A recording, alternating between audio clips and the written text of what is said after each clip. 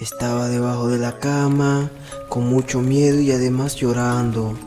El Ayuwoki me estaba buscando, desnudo y cantando las siguientes palabras. Me sacó debajo de la cama y me violó.